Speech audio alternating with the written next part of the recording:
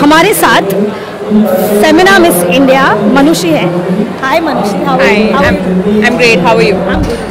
So, uh, you've come here to take uh, blessings of God. I Yes. think you, you know, you're the you're the Miss India. All right. तुम्हारी इच्छा तो अपने आप पूरी हो ही गई है. Not, not at all because I have a long way to go and uh, before my competition which is Miss World Yeah. which is happening after one and a half month I think uh, I definitely need, need a lot of blessings right now. Okay, so uh, you're not from Mumbai practically. You No. are okay. You, Not. You, you, not. Yeah. But how is Ganpati here? I mean, this is the, must be a practically first. Uh, I think this is Mumbai. so yes it is my first uh, Visarjan experience ever the Ganesh Chaturthi experience and uh, I think this is very Mumbai I feel so so much like a Mumbaikar right now uh, coming over here with all the people. And I uh, so I have a Ganpati story actually. Okay. so when I was coming for Miss India uh, my friends and family friends they all threw a party for me at dinner.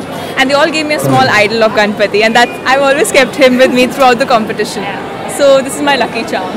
So Ganpati has proven to be a lucky charm for you as well as a lot of people. Yeah, definitely. He's the god of art. He's the god of uh, wisdom, and I think you've you've started your way, which is Yeah, which is really yeah. great. So how many Ganpati mandals are you going to visit after this? Any any idea? as many as I can. As many as I can. I'm loving the vibe, I'm loving the people here, and I think this kind of celebration really brings everyone together. And I need this, you know, it feels like I'm home, it feels like I'm with my family when I'm at these places, and especially before a competition such as Miss World.